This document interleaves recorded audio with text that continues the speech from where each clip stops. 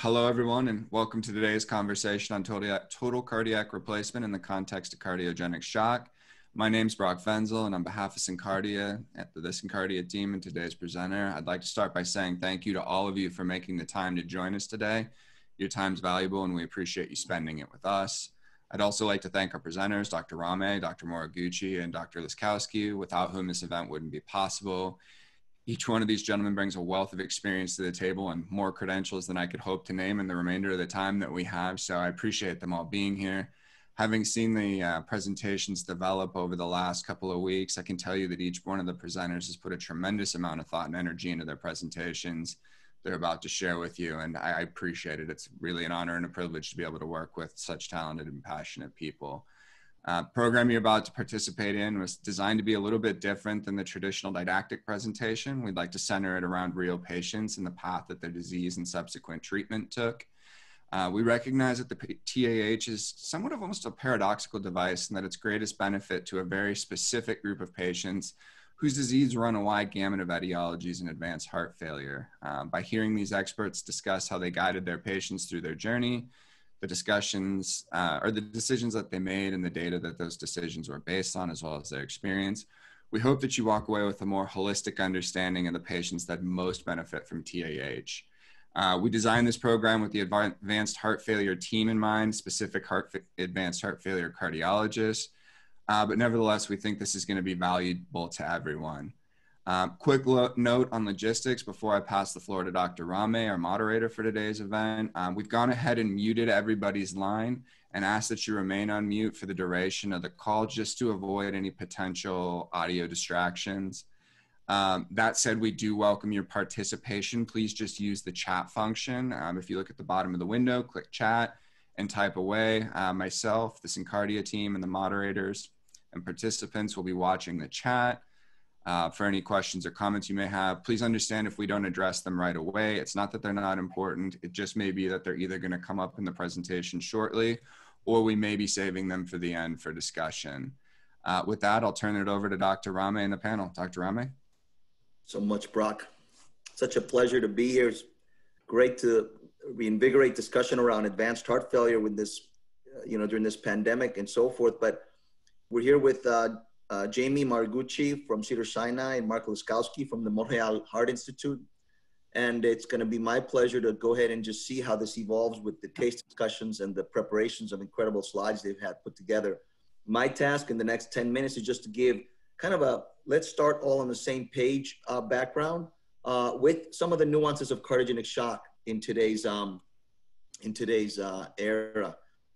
So if people can see my screen, I'll go ahead and put it into slide mode. Um, okay, so uh, real briefly, first I just want to give a historical input because it's been about 75 years. It's amazing. Um, and since I am in Philadelphia, just to be a little bit um, a little bit, um, I guess, parochial about where some of this started. A wonderful and humble man, Dr. John Gibbon, uh, who was at Penn and also at Jefferson.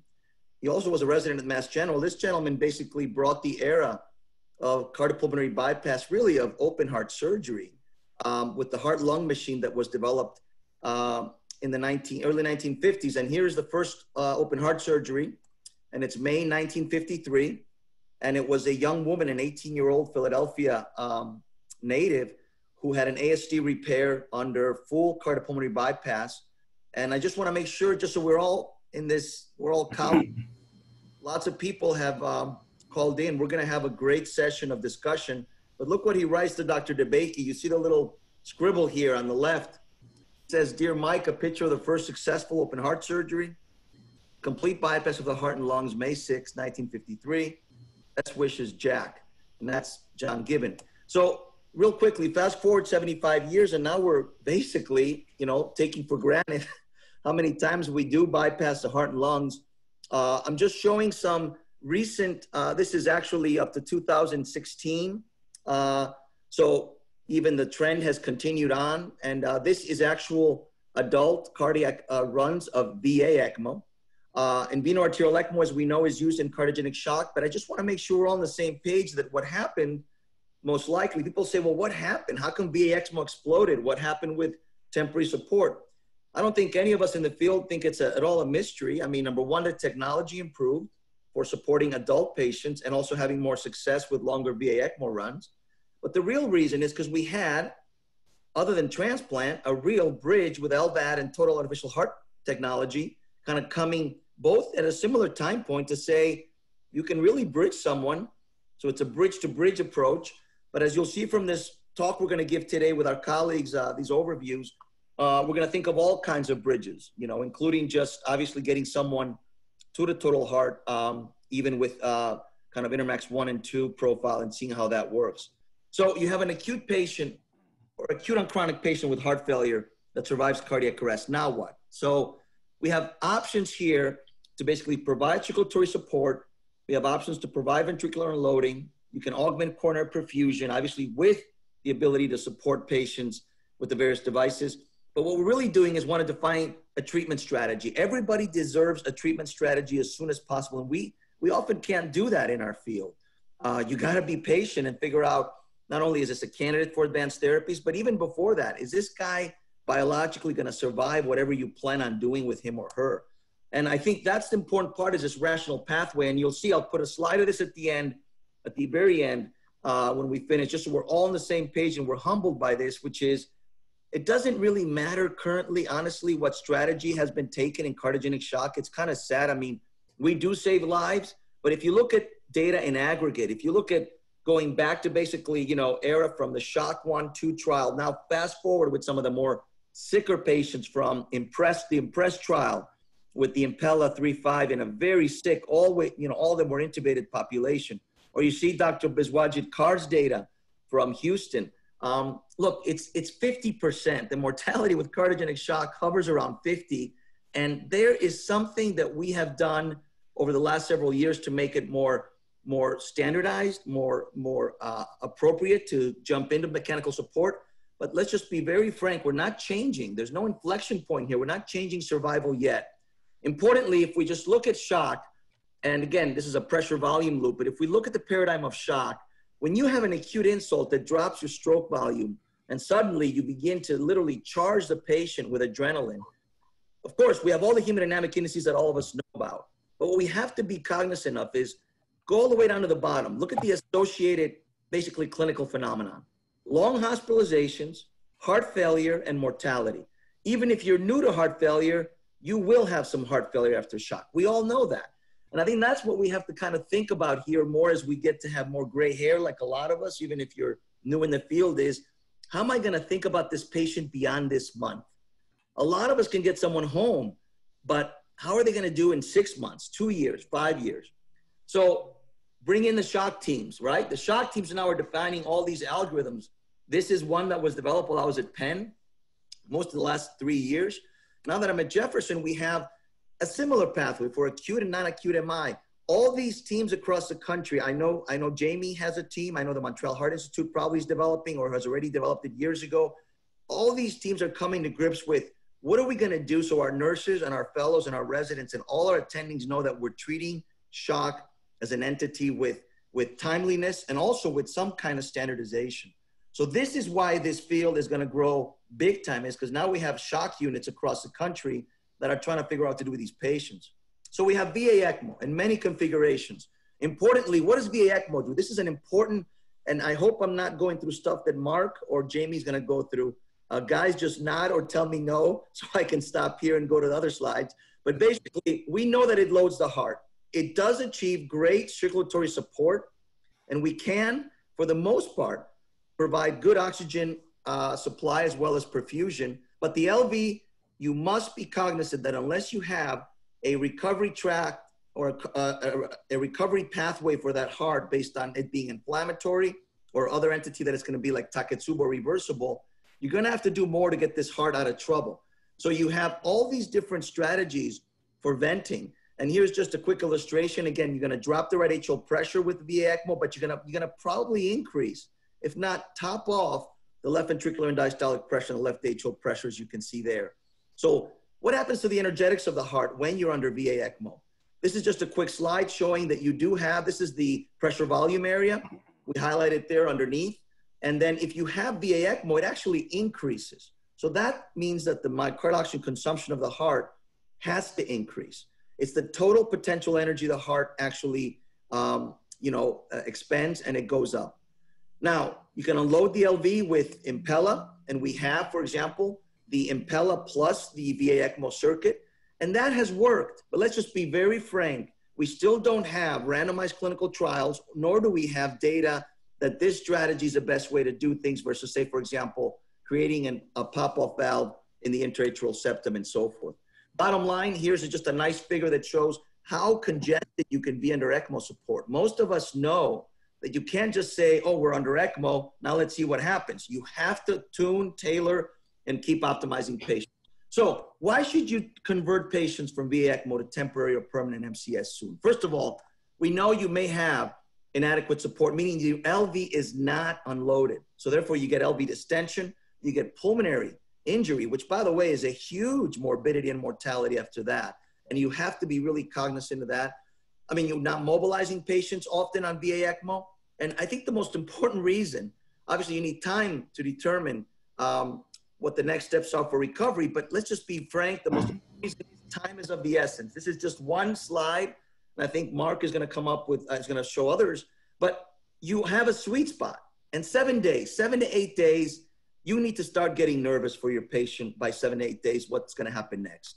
Um, shouldn't panic if there isn't a direct strategy, but I'll be honest, in my opinion, if you go beyond seven days, two weeks, if you're stretching that much on VA ECMO, it, it's something is bound to happen. And this is beautifully shown in this graph. The early, obviously, mortality in the less than 48 hours is that was more of a moratorium. Those people did not wake up. And then you have this real sweet spot of, you know, basically up to about seven days. So someone's on VA ECMO. What next? It's important to realize that we basically have some trick, some tricks of the trade that we've learned all as colleagues. Um, we know the RV cannot fully assessed. You have to turn the ECMO circuit down. And even then, really, I've learned from a lot of surgical colleagues, you really have to almost turn it down, down, down to see what the RV is really going to do below 0.5 liters. And you can't often do that in the ICU unless the nurses start yelling at you. Um, so at the end of the day, you have to be cognizant of the limits of what you can do on VA ECMO in your assessment. But the other thing is, obviously, you you try to, you know, look for the best uh, strategies for recovery. But myocardial recovery may not occur because of what we talked about as far as venting. So again, this is courtesy of David McGiffin. He is a wonderful colleague from uh, the Alfred in Australia. He gave me these slides. Here's just a pathway that he takes. He looks to see, obviously, okay, you got someone who just had cardiogenic, who's in cardiogenic shock after resuscitating him. What do you do next? You try to revascularize him, then you look at, obviously, um, you know, revascularize him safely with percutaneous strategies, and you look for the different strategies to either recover or bridge to advanced therapies that may be either heart transplant ultimately or destination uh, with LVAD. But in each of these strata, let's just be clear, we have palliate patients sometimes. Sometimes they don't make it. And that's why you got to choose well and choose timely. I think the one thing I'm going to take home from today's session, I want to hear from others is you got to be timely. Um, so here's here's again in their in their own center. Let's say you go down this pathway, and you're basically um, you're basically at a point of of you of needing tandem, um, uh, you know, bi bi-sided tandem support or central back support or VA ECMO. The transition in their center is within a week, and this is what David has done. So we know this from the Columbia experience. It's used across the world. The CentriMag um, can be used as a surgical technique to go ahead and have patients or mobile from VA ECMO. This is a bi-sided approach, but clearly it's important to think that there may be patients when you do not have certainty of what's going to happen recovery wise. And what I mean by that is you really don't have faith that the substrate you're dealing with, because there's either ventricular arrhythmias, there's infiltrative cardiomyopathy, there is evidence of a long-standing and irreversible refractory cardiomyopathy, you're going to have to bite the bullet sometimes and say we're going to go for cardiac replacement and a cardiac recovery. So finally, I'm just going to say, as far as recovery, we know that it's possible even under LVAD support, but this data that we are writing up that should be coming out in circulation soon from Restage clearly is in patients with non-ischemic cardiomyopathy, with, with within five years of having heart failure. We excluded more than five years out of having heart failure. And these were patients less than 60. This is a select group. And yes, we were able to get these EFs up and we had a good explantation rate, and we'll see what the long term is. But just to be really humble, we looked at our data at Penn as far as how we did with ECMO weaning. How long can these patients survive and how they and how well do they do? So we defined successful weaning as those patients who were actually more than 48 hours and were doing fine on ECMO and then needed to be, um, you know, trialed for weaning. And here's our data basically for these patients that were able to be uh, that, that were able to be successfully weaned. We had survival to discharge in 64%, overall one year survival again 54%. If you look at actually this group, and this is the group that actually went home. Yes, they if you get home, you're likely to maybe be okay in the next year. But if you look at the overall group, comparing patients that went on to LVAD or heart transplant, we didn't have anybody in the VA ECMO here go on to TH at Penn, but we had LVAD or heart transplant you do better with LVAD or heart transplant than if you look long term at these patients that were actually able to be um, recovered. So, in summary, again, we'll go back to this slide 50% is what we see as the current still, it still hovers the mortality around 50%. And I just want to thank my colleagues here now that I'm working with, Todd Massey. We have a terrific shock team here with some colleagues, uh, uh, uh, Dr. Al Rawas and uh, Alec Vishnevsky and Priti. And I want to just an, an, intellectual debt to my colleagues and uh, still a very good friend of mine, Christian Bermudez and Ali Banayosi. Thank you. I think now we're going to present um, cases. I think the first person that is coming uh, to speak right now is Dr. Jaime Moriguchi, who is the head of MCS at Cedar Sinai. And he's uh, just a long-standing, wise, one of the wisest people uh, in our field. And I say wise because he's like Jon Kobashigawa. We don't know their age, uh, but they age well. But, but uh, Jaime is an incredible colleague, and he's going to go through some cases uh, followed by Dr. Liszkowski. Thank you.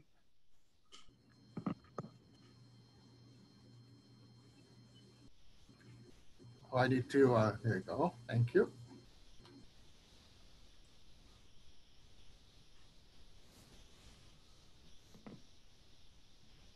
Okay, can you see my screen, uh, Eddie? Yes. And you can hear me okay, right? All right, good morning, everybody. I was asked to um, share one of our cases that uh, we found quite fascinating. I hope you do too. And um, I really want to thank Syncardia for allowing me to present uh, this case. And hopefully it'll stimulate some lively discussion toward the end. So this first, um, hold on a second. it's not working. There you go. Okay. So our first case involves a 22-year-old uh, female from Lompoc, California. If you don't know where that is, about 120 miles north of Los Angeles. She's uh, blood type O, five foot two and 130 pounds. BSA is 1.52. she had excellent health, really, until the 3rd of uh, um, April. This is back in 2018 now. Just remind, keep yourself reminded about that and she had a um, her first pregnancy and it had to be induced at term because of eclampsia. Prior to that, she had no medical or cardiac history. She actually did fairly well initially, but over the next six weeks, she gained approximately 25 pounds with diffuse edema, almost anasarca, nausea, vomiting, diarrhea, and orthopnea, and presented to an outside facility in Lompoc with a pressure of 65 over 40 they were able to put, place a Swan-Ganz catheter in her, and she had an RA pressure of 25, PA pressure of 35 over 24 with a mean of 28 and a wedge of 25.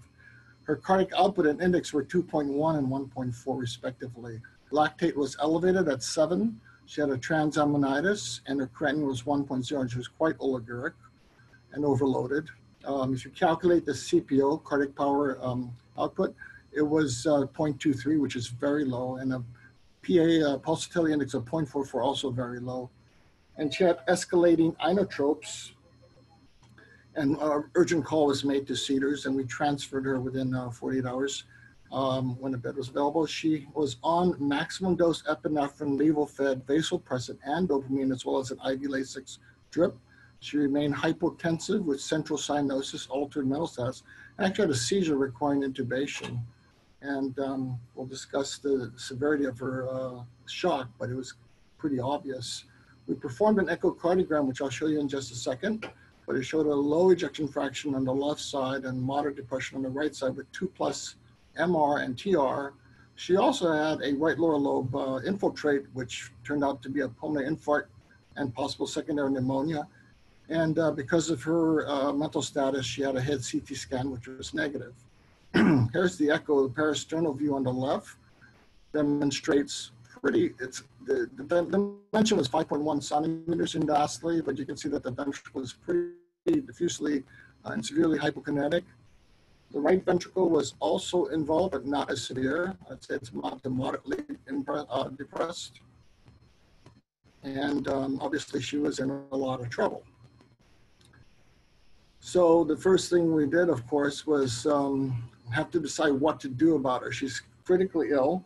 Uh, obviously, this is a decision point, and the uh, different options include continue inotropic support, which was already on maximal therapy, consider temporary MCS, uh, balloon pump, Impella, CMAG, VECMO. These all were things that we thought about versus a durable MCS or uh, LVAD versus bilateral HVAD or even a TH.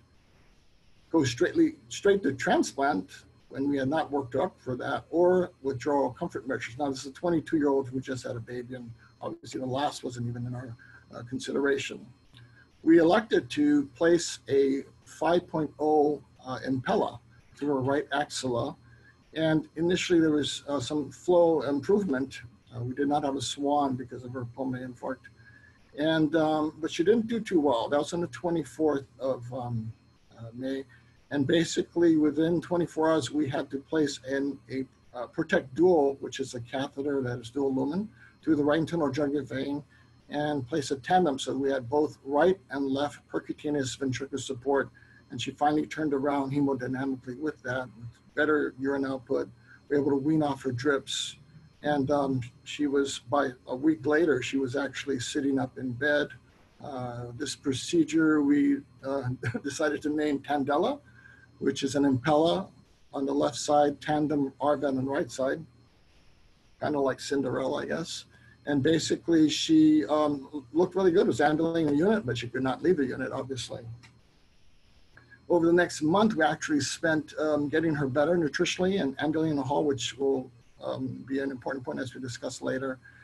And unfortunately, she was found to be quite sensitized. Her PRAs were above 85% uh, class one and similarly class two. So she received Rituxan and IVIG. And um, during that time, we optimized her status uh, in hopes of doing a transplant. Now remember, she had a um, presumed postpartum or possibly viral cardiomyopathy. So we had hoped that she would recover. So we had placed the percutaneous devices to give her time for ventricles to recover. Unfortunately, um, by July, which was um, nearly, uh, well, that was almost a month and a half, neither ventricle improved by echo, and she failed weaning on several occasions. Unfortunately, the impella pressure, purge pressure started to increase, and subsequently the current increased. And on day 43 of uh, biventricular support, percutaneous support, her Impella acutely failed, leading to a cardiac arrest. Fortunately, our surgeon was near nearby and um, at the bedside right after CPR placed peripheral VA ECMO, which um, saved her hemodynamically. The patient was ta then taken to the um, operating room for Impella removal, which had a big clot on it, and she was felt to be INTERMACS 1 uh, TCS at that point. She was neurologically intact, and thank God she was young. Her liver and kidney remained stable. She was relatively small with a BSA of 1.5.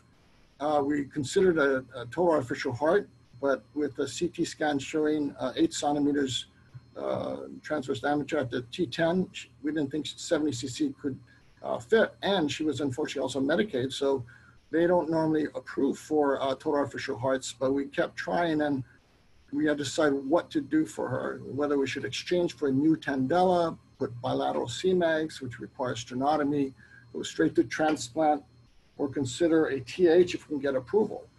And miraculously, of course, um, on the 12th of July, Medi-Cal approved after much, um, many telephone calls to the regional uh, field center in Sacramento, and we, we implanted a 50 cc TH in her and uh, she was found to have a lupus anticoagulant, factor V Leiden mutation, but she was covered with heparin and did not have any major thrombotic or embolic episodes. This is the patient on July 24th, so this is several weeks after the TH, and she was sent to the floor and um, starting to ambulate and again improving her nutritional status and strength. Uh, most is uh, all her drips were weaned off, and she was we felt ready to go to transplant.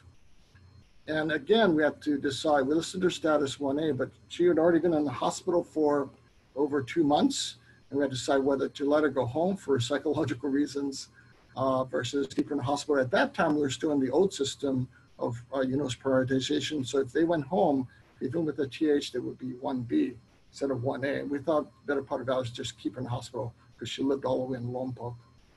So on the 20th of August, a suitable donor was identified for her. And this was hospital day 88 and post um, TH day 38. And the surgery was quite difficult and, as you would expect, quite bloody. And we left her chest open for a day. But she, uh, she then stabilized out, and we had done some special preparation when we put the TH in to make this, T, uh, this transplant a lot easier, which we can talk about later. But she got uh, the TH and was discharged home within 10 days. And I just called her um, phone, and she and the baby uh, about a week or two ago looked great. And this is a picture of them uh, a couple months ago. So this is the case that um, we presented. We thought it was an amazing um, case of someone who was extremely sick. And uh, these are the different uh, issues that came up. It was a case of severe cardiogenic shock with potential reversible etiology and a recent PE.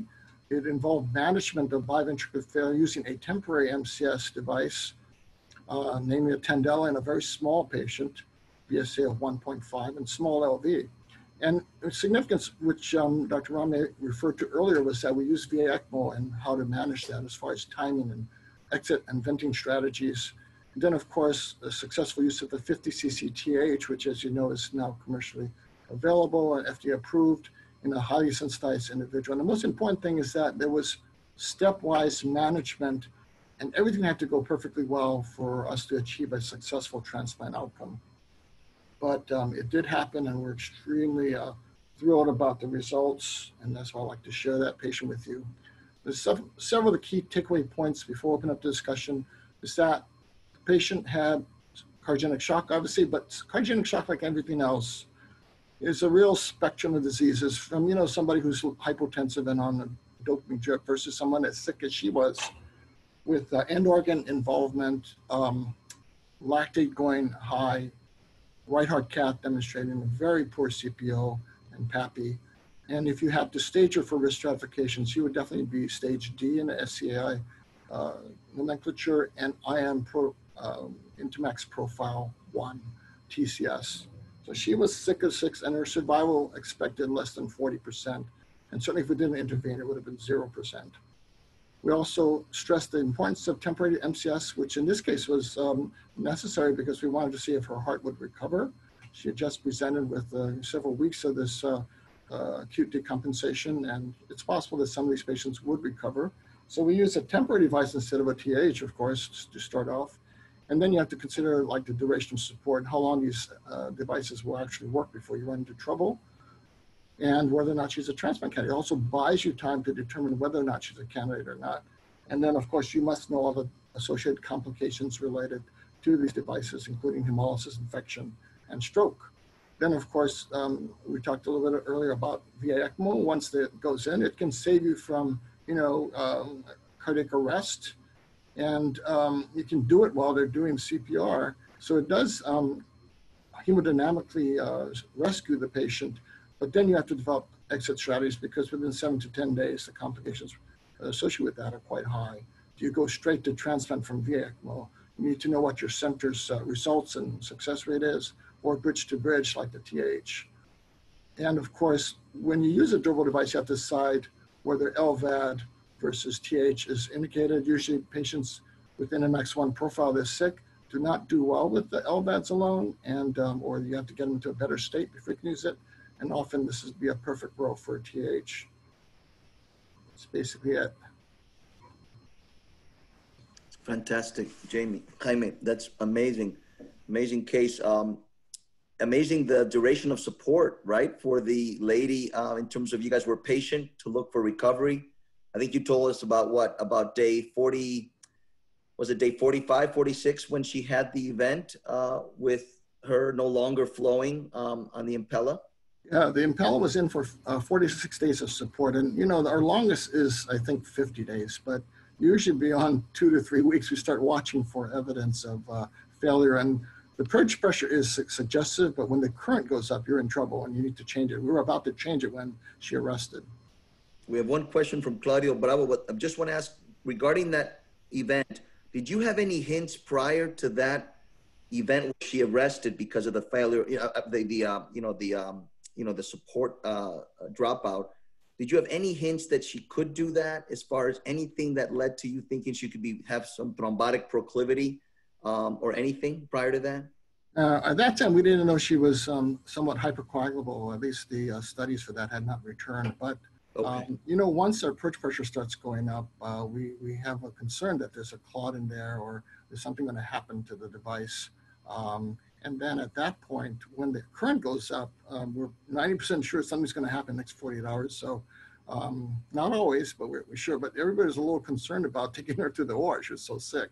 And we could never wean off the, either the LVAD or the RVAD for that matter.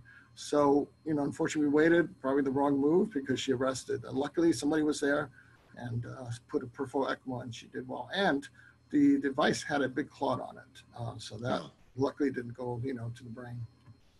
the, the, uh, there's two questions, so we have actually several coming in. So Claudio Bravo, what, so Claudio asked, what do you think about BIVAD with either HeartMate 3 or HVAD versus TH?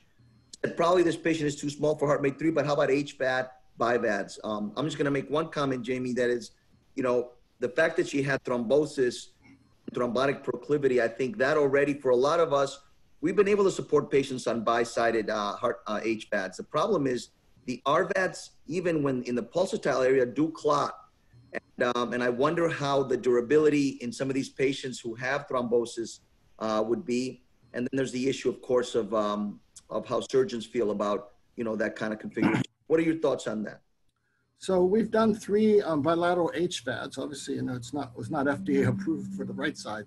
Um, two of them did well, but because we transplanted them, uh, well, one of them did well because we transplanted them pretty quickly. The other ones who went home, um, one of them had a uh, pretty big event about a year or two out, and the other one also had a stroke. So I don't, I'm not a real big fan of bilateral HVADs, and I don't think that's the right thing for this lady. She was very tiny. Uh, CentriMag bilateral would have been the only other option I would have considered.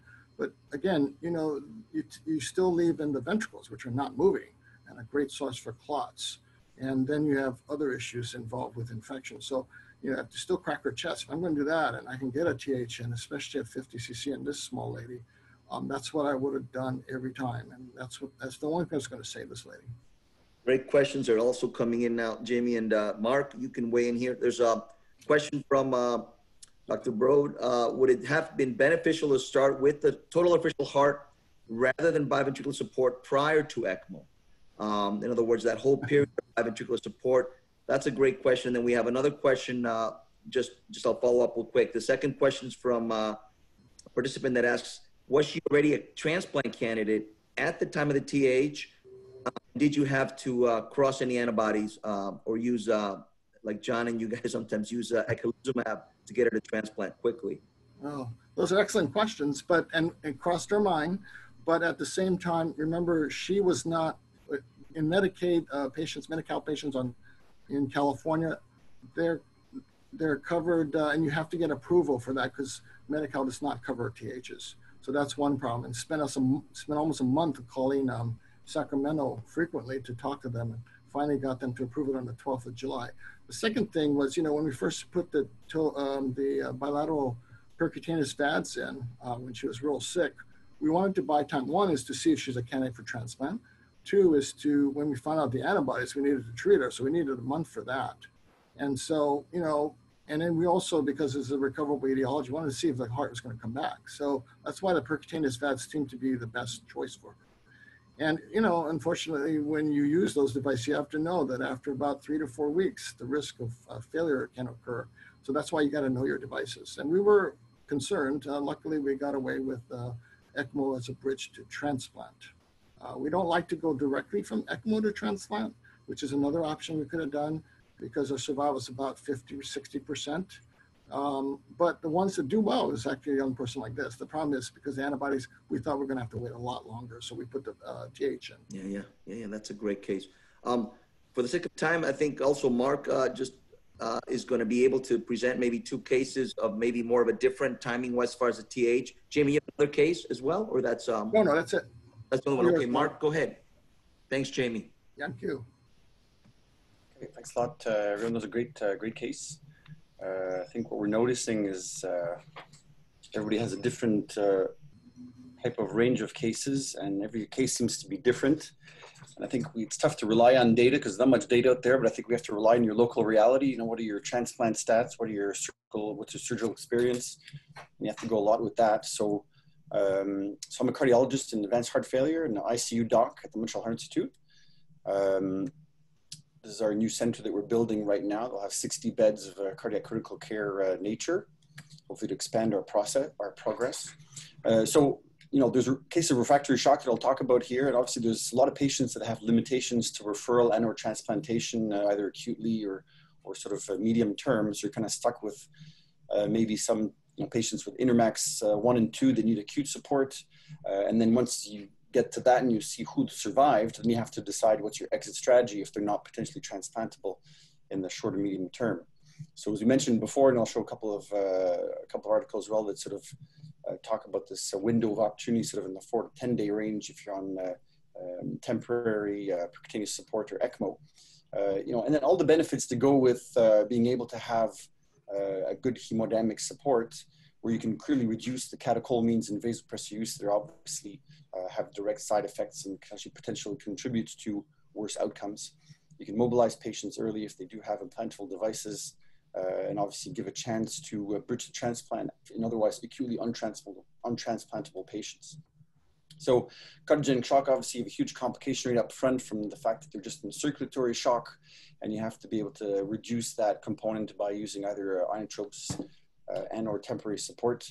Uh, but then you have this whole problem of, you know, systemic inflammatory response syndrome, potentially sepsis that adds itself onto it. The longer you're uh, supporting your patient with uh, uh, percutaneous uh, temporary support.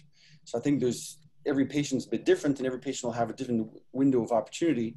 And I think that's the importance of your shock team to have an established plan on, up front and be able to, within just a few days or the following day, uh, change plans if you see uh, an opportunity or a closure of an opportunity that may no, longer be there.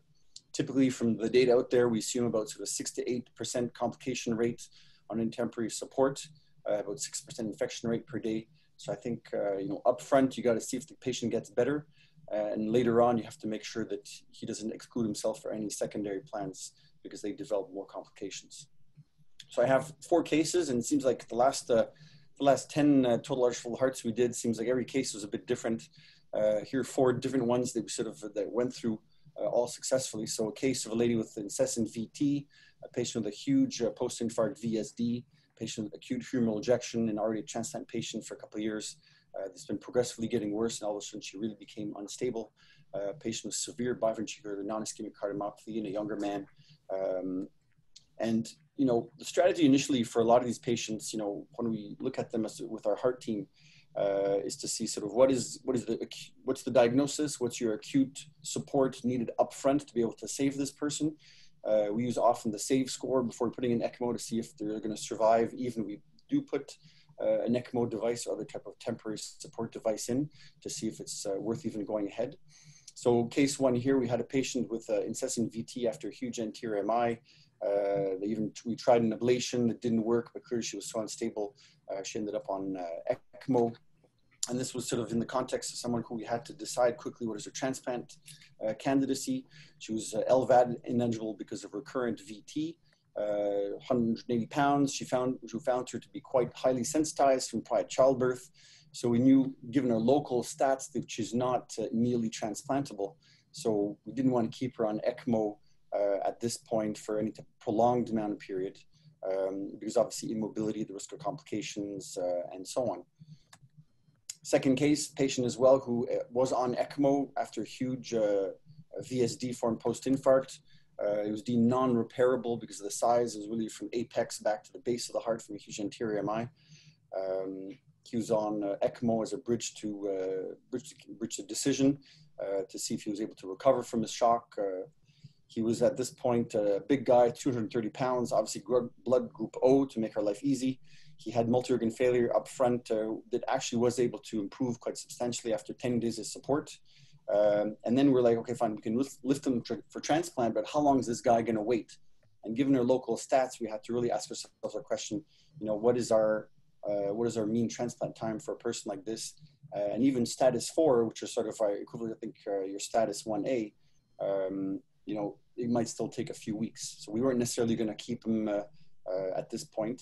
Uh, our group tends not to, to do upper extremity biventricular support uh, percutaneous biventricular support, I think we tend to go directly more towards TAH because um, we have a lot of experience with that.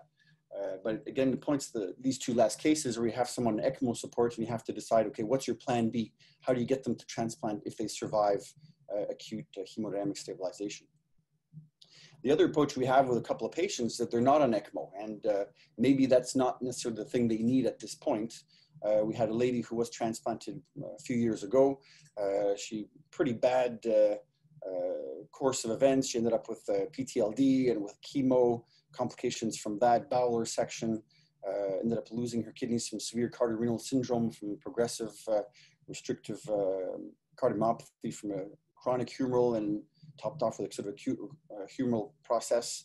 Uh, and at this point, she had severe biventricular dysfunction, refractory cardiorenal syndrome. She was being on, dialyzed on CVH at that point from low cardiac output rest restrictive physiology uh, type hemodynamics. Uh, she had an elevated PRA, and we did put on a bortezomib um, uh, plasmapheresis um, desensitization protocol. Uh, and at this point, for her, you know, she was uh, awake, uh, sitting in her chair, getting dialyzed, talking to us, not intubated.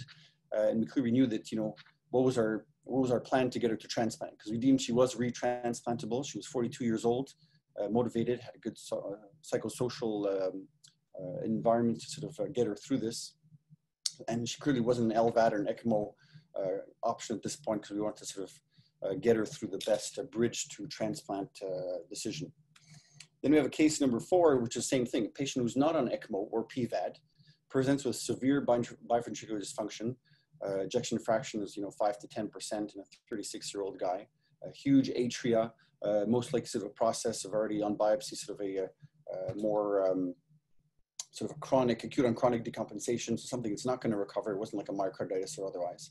Clearly INTERMACS 2 at this point in the ICU and escalating doses of inotropes, uh, obviously limited by non-sustained VT. Uh, vasopressor doses were increasing, worsening cardiorenal syndrome. So our group sort of decided, okay, so what's our exit plan? Does he need acute hemodynamic support? I think he was getting worse. And I think we had to decide within the next 24 hours what to do with this guy. Uh, and then we looked at, is this guy transplantable, in the short term? Uh, big guy, blood group O, PRA negative. But uh, given our, our local uh, availability of, uh, of big donor hearts, uh, you know, this, we've had a couple of patients, they waited up to six months to get a uh, an over 250 pound uh, donor heart, especially blood group O. And he wasn't an LVAD option because his RV was completely shot. Um, so we had to make decisions to where to go with this person. So we have a lot of these patients that come up with uh, significant barriers to transplantation. You know, if they are deemed to be survivors from their acute process, uh, we have uh, size and weight constraints. We have blood group constraints if they're group O, sensitization, uh, instability of worsening organ function. So they are getting worse either very quickly or they're just not great with multi-organ dysfunction that hopefully is going to recover. Um, that allows more options. Uh, if they're not eligible as a bridge to transplant with an LVAD because the RV is no good, or if there's another process like uh, uh, recurrent VT or huge VSD. Uh, and then patients obviously who are deemed uh, therefore INTERMACS one or two and not deemed as a bridge to transplant or bridge to bridge candidate uh, with, with an LVAD. So if we look at the data, and I think there's, there's a lot of data saying obviously earlier is better, uh, although you have to triage the patients who will not survive. So uh, a lot of the chart, a lot of the graphs and the data do suggest that, you know, most of your deaths are typically upfront when you do uh, take a critically cardiogenic shock patient and you put on ECMO or some other peripheral support. A lot of the patients will die upfront. So I think that's an unfortunate triage that necessarily happens from patients who end up with either big strokes, neurological process after cardiac arrest, or multi-organ dysfunction. Uh, so the people that would die no matter what passed away within the first uh, four to five days. And then if you sort of look at the potential outcomes afterwards, so we know that there's a high mortality upfront, and this is a curve, sort of a, a probability of survival over the course of the first few uh, weeks on, uh, on ECMO, and we try to extrapolate, uh, you know, what is the potential survival of a patient over the course of this process. So upfront, there's a high mortality just because we're probably too late, there's a complication, or he goes into refractory multi-organ failure and he's not gonna, he's gonna die no matter what we do. Then you have the patients that start to get complications of being in the ICU with multiple inotropes, vasopressors, percutaneous support. They're intubated, they get septic, uh, they get blood clots and have strokes. So obviously, if you wait too long as well on percutaneous support, you start to end up with a lot more complications. So there's a there's a pretty narrow, although it depends on who your patient is, uh, you know, window of opportunity. And I think that clearly starts as early as day, uh, you know, three to four or five, where you can start to see, you know, who are the survivors who are starting to turn around, what patients are starting to urinate or renal function starts to improve, those who are not infected yet, uh, and those who gives you at least three to four days to decide whether transplant candidates. So, you know, if you look at infection risk over time, any person in the intensive care unit, which is uh, either bedbound or intubated with multiple lines, to be infection free, uh, you know, that probability goes down quite substantially over the course of uh, just a number of days. So usually about a 6% infection rate per day on ECMO intubated so, you know, you can't wait too long because then you'll get a huge pneumonia and septic and then you kind of miss a window of opportunity. And we know as well from, uh, from a lot of the data out there that uh, a large part of what we're doing to patients with high dose catecholamines is potentially worsening their outcome. I think we're compromising perfusion to vital organs, especially the gut. Uh, and if we know that we lose the gut, then obviously the patient goes into refractory uh, uh, distributive septic shock and patient goes to multi-organ failure. So the inotropes we use to keep them afloat are clearly bad. And I think that a lot of the data suggests that if you can wean off the inotropes as much as possible with, uh, with full adequate uh, support, I think that's your best option to allow the patient not to get all those complications. Because uh, we know that vasopressors can reduce organ perfusion, they increase the risk of arrhythmias, they deplete ATP and whatever to myocardial con contractility, so your LV function actually gets worse. Uh, you have all the catabolic uh, effects of catecholamines, uh, increase uh, the risk of uh, infections and otherwise you have immun immunomodulatory effects. So bottom line, just to keep someone INTERMACS three or two by slamming him with inotropes and vasopressors is clearly not a good option. And then once you have the patient on some kind of percutaneous temporary support, let's say your center is not uh, uh, comfortable or experienced enough to put uh, upper extremity percutaneous unilateral biventricular support, they're on you know they're on femoral femoral femoral support in a patient who uh, could not be extubated for whatever reason. Um, then obviously you have all the uh, potential harms of prolonged immobilization, all the cardiovascular, respiratory, neuromuscular, and other risks of being prolonged uh, uh in, a, in a sedation intubated process. And obviously the burden of clinical illness as well will have its impact on the patient. So you end up with a lot worse uh, transplant candidate just after a couple of, a few days to a couple of weeks than if you're able to get the patient up and running and moving fairly, fairly early. So a lot of our patients typically end up like this. They get, uh, you know, VV ECMO, which is our quickest way to get them on full cardiopulmonary support, but obviously they're uh, highly instrumented and it's tough to mobilize and wake up these patients and obviously they're going to be bedbound. Uh, and you know, in the long run, you get patients that are you know chronically critically ill, that are myopathic, that sometimes need tracheostomies, uh, uh, tube feeding, and you know, this is not necessarily the patient you want to transplant uh, up front, right? Because he's, he's going to have a long road ahead with a high risk of complications perioperatively of his transplant, if you even assume he's transplantable at this time. And then after that, once you transplant him, then it's a long road down after that. After that, uh, and he might get other secondary complications like you know pneumonias and bed sores and, and other things that you try to avoid. And in general, the, you know the, the quality of life of these patients is, is pretty miserable although you know it could take up to a year or so for them to actually uh, end up out of the hospital. Versus if we take a fairly upfront, quick approach to uh, more durable support, and uh, as I was mentioning earlier, in all our patients clearly were transplant candidates, but whom you know an LVAD was not their option for durable support. Uh, then we're pretty quick in the draw to go uh, with our heart team to decide for a total artificial heart. To be able to exactly like this person here, he's uh, He's um, one of the patients with severe biventricular dysfunction uh, who got a total artificial heart up front. Uh, within three days, he was already extubated and moving. You know, and this could have been a patient who could have stayed on ECMO for for a week or two or three waiting for a heart transplant. So clearly, we got a better outcome, and he got transplanted successfully is out of the hospital within two weeks. So, you know, make sure you evaluate your exit strategy for refractory cardiogenic shock patients, especially the INTERMACS uh. Uh, have an exit plan for some kind of uh, durable support or even palliative care if you decide if you decide he's transplant candidate or not. Um, if the patient is on ECMO, uh, the TH exit strategy implant might sort of become a bit more concrete and then feasible as of day four. So all the patients that were going to die, no matter what you do, will typically pass away within those first uh, three, four days. Uh, and then you have this window of opportunity uh, before they start to get ICU complications, sort of day four to 10, as all our other um, panelists were, were mentioning earlier you know, upfront TAH, we do that from time to time as well in patients uh, that I mentioned up uh, earlier as well that are deemed transplant candidates. If you have enough time to assess that they are candidates at that point fairly quickly, uh, but they're clearly not LVAD candidates or there's no other bridge you try to avoid an ECMO as a, as a bridge to transplant, uh, then we go for upfront TH Uh, with fairly good results. And obviously, if the patient can literally walk into the OR, then he's going to, you know, walk out of the OR with his TH and have a pretty good outcome you know, if you can get them off the catecholamines uh, fairly quickly, if you and all the benefits of early mobilization of the TH allows you to have a much better transplant candidate, uh, shorten hospitalization length of stay, improve uh, outcomes. Uh, and using the strategy, uh, just in our last uh, 10 TAHs, Uh, we've had an 80% success rate to uh, bridge the transplant and uh, discharge home. So we've kind of been pretty aggressive thanks to one of our surgeons who's who's very um, who enjoys uh, putting in the TH as uh, it's a great device, and you've obviously seen the benefits from that. So, but it takes this person in the background to always hammer in the fact, you know, what about TH? Is this a time to do it? And I think that's that's the most important part of your heart team is to also have this in the back of your mind, where TH is a valuable option to get patients uh, out of temporary support uh, and get into transplant in a much better condition. So I'll end here, and I will uh, ask Dr. Rame to field any questions.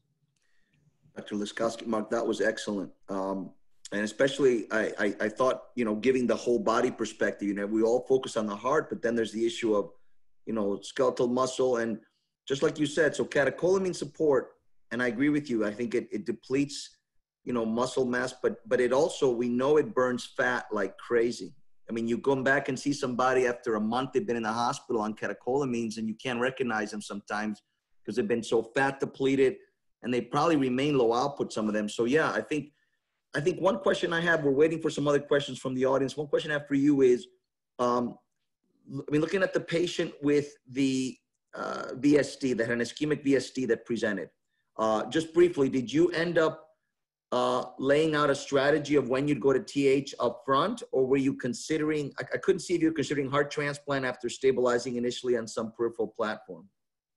So uh, the patient came after a huge uh, infarct that was revascularized uh, fairly late, unfortunately. He was transferred from a peripheral center. Uh, and we have uh, one of our surgeons here who's sort of our local champ in, in closing the VSDs.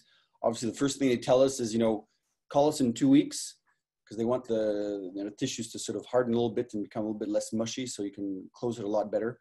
Uh, but right up front, just given the size of the VSD and the instability of this patient, uh, in spite of a balloon pump, uh, you know, this is not a patient that we try to put an Impella in because the VSD was so big. You know, I think quite easily we could have already had uh, sort of right to left uh, shunting. Uh, an ECMO obviously was the, the way we sort of did acutely for this patient. But, uh, you know, we decided not to put this guy in ECMO for two or three weeks, waiting for him to potentially get complications. So it was really the surgeons that told us, listen, this is really not something that can be closed easily. I think you really need an exit strategy, and we did have enough time to assess him as a, as a good transplant candidate. Uh, so we prefer to put in TH as opposed to waiting two weeks on ECMO or deciding to, to close it with a high risk or just bad uh, surgical result.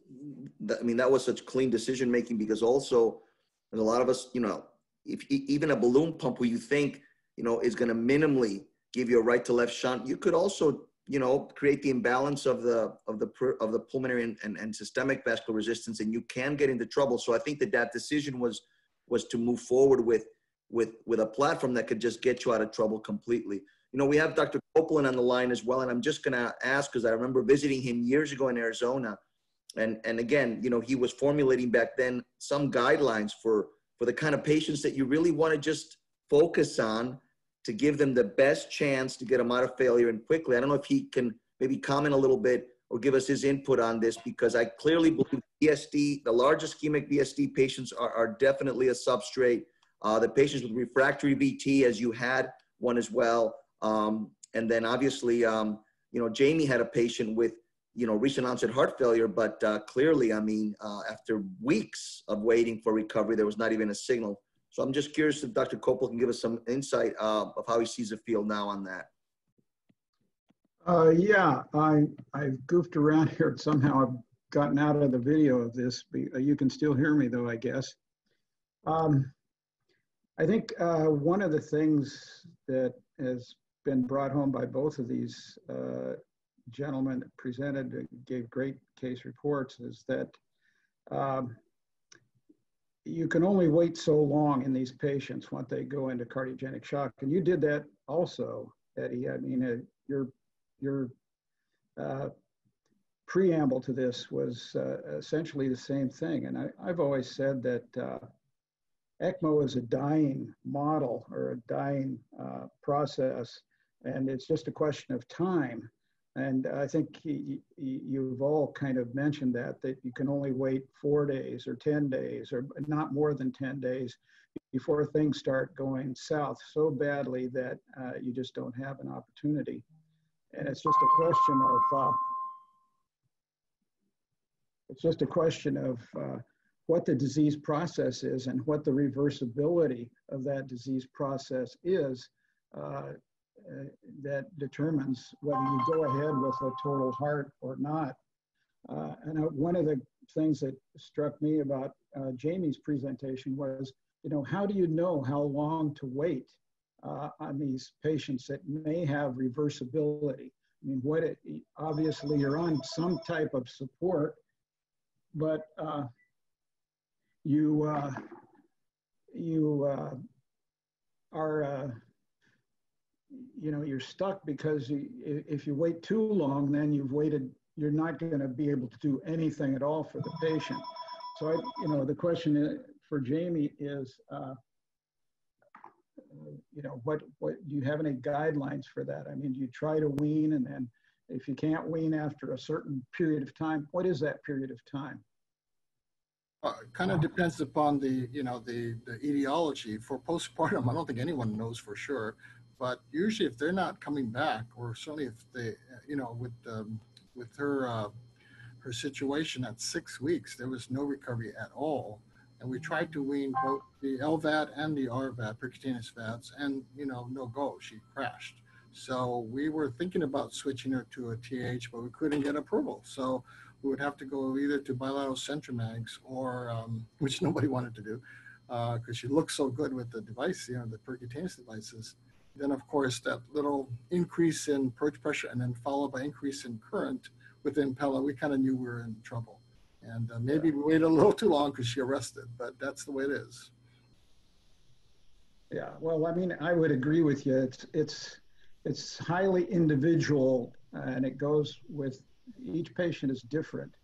And uh, but you ha- always have to keep looking and asking that question. You know, is this heart really going to return or is this a transplant candidate uh, in those reversible patients? I mean, the last thing you want to do is transplant somebody that doesn't need a transplant.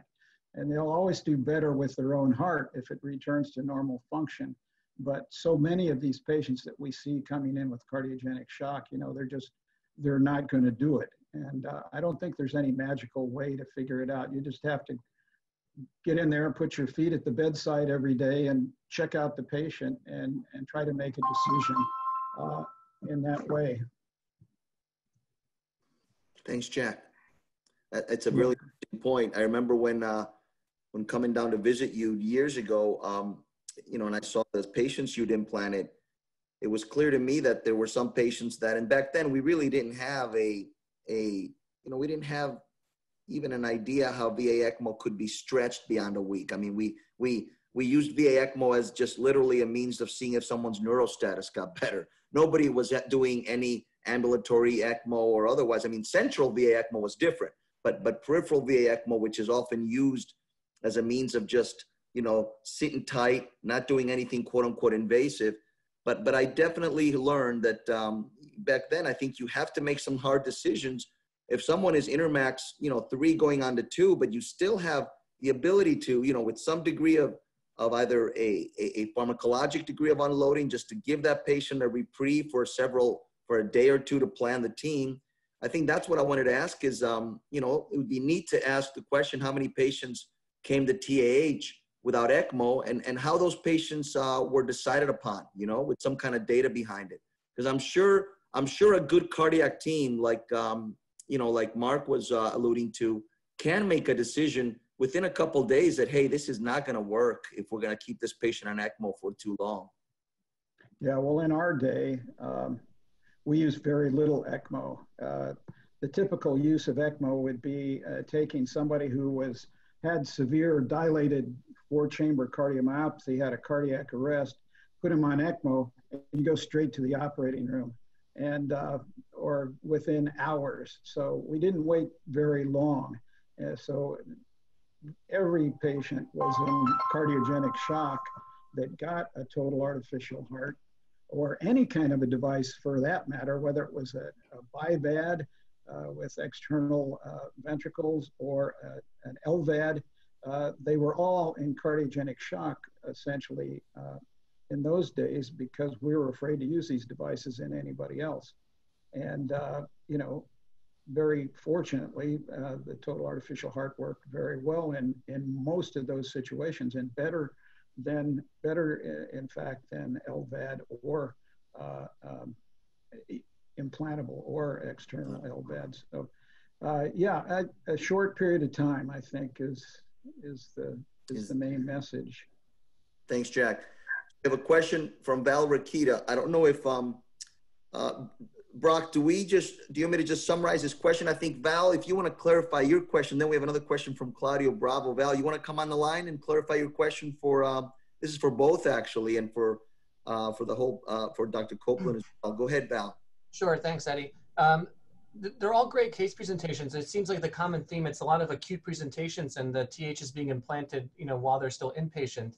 And are, are all these patients formally considered transplant candidates at the time of TH implant, or is there some question to their candidacy and you know it's being implanted without knowing completely if they're truly going to be a bridge to transplant? I know there's only an indication as of now for uh, BTT patients. Yeah, um, I can answer for Cedars. The majority of our patients who get uh, uh, implanted with a TH have to be um, run by the selection committee and accepted for transplant, just because you know. It's the right thing to do, but uh, insurance won't cover it if it's not. Um, now that it's available as DT, I'm not too sure how that factors into things, but in general, you have to do that evaluation before you put a TH in. Otherwise, it may be a bridge to nowhere. Yeah, here in Canada, we don't have any, uh, fortunately, any insurance or regulatory issues that really prevent us from putting it in. We just go to the storage room, take something off the shelf, and put it in. Um, but I think you know we don't have the experience of sending patients home, and typically, if we did put a TH in, they will get transplanted within, you know, worst case scenario, three to four months. Uh, you know, typically in hospital. Um, so, and again, we don't think it's probably the best option to sending patients at this point in our experience locally uh, with TH.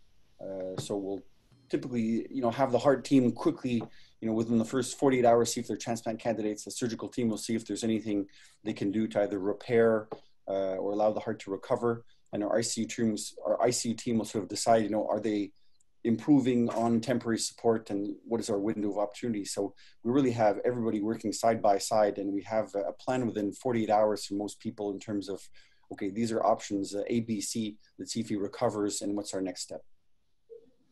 Hi, Francisco Arabia, just joining late. Hey, Francisco. Hi, Francisco. Hello, guys.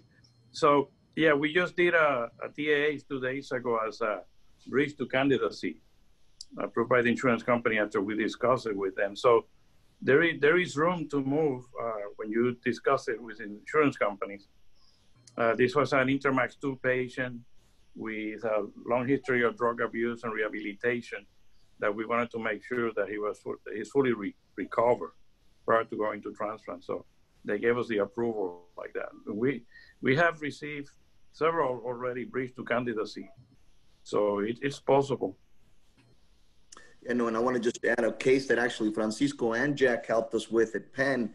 you remember this case of a lady who was um, a CHOP patient who'd had a transplant 20 years ago, and this really, I think it was bad humoral, but also like just CAV that just didn't look bad on cath. I think she had really bad CAV, um, had a very horrible heart, stiff heart, um, and she was on VA ECMO, and unfortunately um, developed. Uh, a, she had a spinal infarct on VA ECMO. So this lady ended up recovering on a total artificial heart over two and a half, three years almost.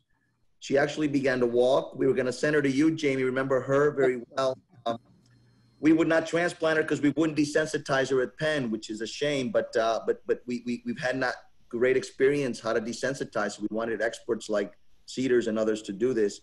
Um, and this young woman, God, you know, the courage she had and everything. She had a good quality of life on the total heart. She she really touched a lot of people, but she ultimately succumbed to sepsis. Uh, you know, of trying to get her transplant. Uh, we were also looking at uh, centers like in Florida, because you know, centers where she could have family to go to. But yeah, she she was uh, a three, almost three years, I believe, uh, on the total heart. Yeah, she was young, right? Really young. Very young. Yeah, it's good to be young. She was also. Um, unbelievably, I mean, the spinal infarct. I mean, I mean, she started walking towards the end uh, with almost no assistance. It was just unbelievable to see that. Yeah, and she she was a case that I think she was on ECMO for about at least six weeks. She was, she was, she was Christian's patient. I wish he was on to discuss it. Yeah. Really, re- really tough case, but I mean, he gave her the best chance. And and just to to answer Val, Val, we had not vetted her for transplant, even though we thought she could be a bridge to candidacy because we would not desensitize her. She was very sensitized coming into, uh, you know, when we were evaluating her on VA ECMO, very sensitized. Yeah. Okay. Sorry, there's one other question here, uh, Francisco. Well, and then uh, Jack, while we have you, we have Claudio asking two questions. In regards to the patient who had AMR pre heart transplantation, he asks, does the TH sensitize patients as much or as, depending on your opinion, as the LVAD does? And two, is there any data that patients undergoing heart transplant off the TH do better than those bridged with ECMO? Excellent questions. Those are great questions. Um, Jamie or Mark or Francisco or Jack, um, anyone else? So I think there's uh, there's, there's some data showing clearly that uh, after LVAD, people are more sensitized. Uh, are the bodies actually really pathogenic, or is it just sort of non-specific antibodies because people are acutely inflammatory? Uh, a lot of these patients, if you sort of check how uh, whether antibody titers are antibody titers are with a C1Q more specific uh, complement activating, or you recheck their PRAs a couple of weeks, a couple of months later, sometimes that changes quite a bit. Uh, so it's unclear exactly uh, how pathogenic those antibodies are up front. Uh, for TH, I suspect it's about the same process. You know, you get a sternotomy, you get lots of blood products, you get foreign material put in. Um, one of our patients had an LVAD recently, and exactly ended up going from like a 10% PRA to 100% PRA, uh, and we're still re- retest her soon to sort of see if that goes down. Um, we've had pretty good success going from TAH to uh, uh, to transplant. Um, I think we tried putting an LVAD into a patient with biventricular dysfunction uh, just last week, and he ended up needing an RVAD. Then he lost his kidneys, and then he had to be sedated, and so it was just a total mess. And I think we regret not having gone to TH up front for this guy last week. Uh, fortunately, he got transplanted two days ago, and he's doing fine. But uh, you know, we lost the kidneys in the process, and we may not have uh, lost him had we gone to TH with just one major surgery up front instead of serial procedures and you know shock and recovery and shock and recovery. So uh, I think it's important to keep in mind, you know, what uh, uh, how the patient is doing, and not you know not uh, escalate and de-escalate and escalate. So uh, that's what our th- our thoughts are. Yeah, our patients who went electively to TH, no MCS before that, um, the overall survival or success to transplant is about 65, 70 60. percent or so. If you get VA ECMO between, that survival goes down to about 48 percent. Uh, we did 25 patients VA ECMO to TH, and about 12 of the 25 went to uh, transplant successfully, but it definitely is less. And then if you look at the best best part of it all, though, is once you have a patient who's on TH and stable and optimized, if they go to transplant, the one-year survival after transplant, in our experience, has been 91%, which is almost like somebody coming off the street. So I'm not worried about the sensitization about the, uh, from the TH. Yeah, let me add, that's a great question the, what, I have found over the years is that the DH itself do not increases the antibodies. It is the blood products that they receive at the time of the implantation, especially platelets. And we have had several patients that the, the PRA will go up and come down. But it, we did find at Cedars, and you can correct me, Jamie, is for all the devices, the non-HLA goes up. Yep. And where we're where we now are doing for any device patient that we're going to transplant, DAH or ELVA, if they have a PRA, we will check non-HLA antibodies. And if they have AT1R that is high, for example, or endothelial, we might consider uh, plasmapheresis right at the time of the transplant. So we don't have a problem. That is what we have found. But the the class one and class two HLA, I have not seen those just go up because of the DAH. It's when there is a lot of transfusion of blood product.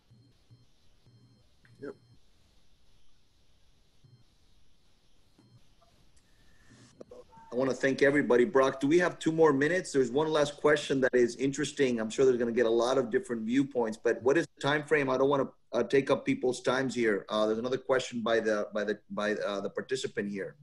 I sincerely appreciate everybody's time thus far. Um, we can keep the webinar open as long as people want to discuss, but I understand if, if people need to drop off. Um, I thank everyone for being here. So if we'd like to address that question, by all means, please. Yeah. Well, anyway, thanks everyone. If you have to come off, uh, this has been great. Thanks, Jamie, Mark, and it's great to see Dr. Copeland and uh, obviously Francisco. The question is actually if there's any change in the post-implant management now that there is no nesiritide available commercially. this is a very interesting question that Val asks because of uh, you know some of the hiccups that some of us had with nesiritide. Interestingly, we try to learn from Dr. Copeland and others, Francisco, you as well, in which there was less nesiritide dependence across many centers, depending on the experience. Whoever wants to answer that, I'm not sure. I'm sure you can find nesiritide in Canada, right, Mark? Uh, probably in one of the Canadian pharmacies. Yes, I think it's generic. You can pick it up at the gas station, actually. well, you know, it's interesting because we have encountered that in the last several DAHs that we have done when we have no nesiritide available. And what we have done is a combination of either UF ultrafiltration or CRT to maintain the, the volume at a normal range and give time enough time for the kidneys to recover.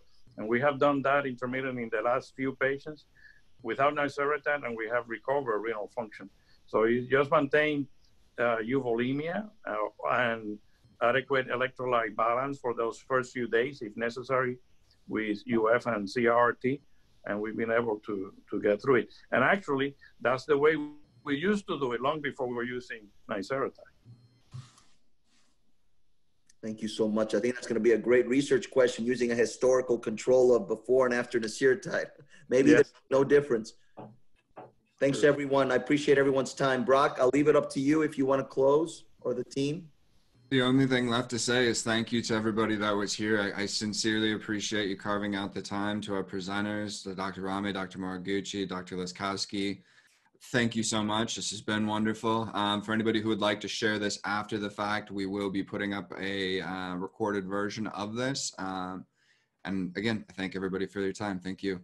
Thank you very thank much. Thank you. See you guys. Thank you, Bye bye. See you later. Take care.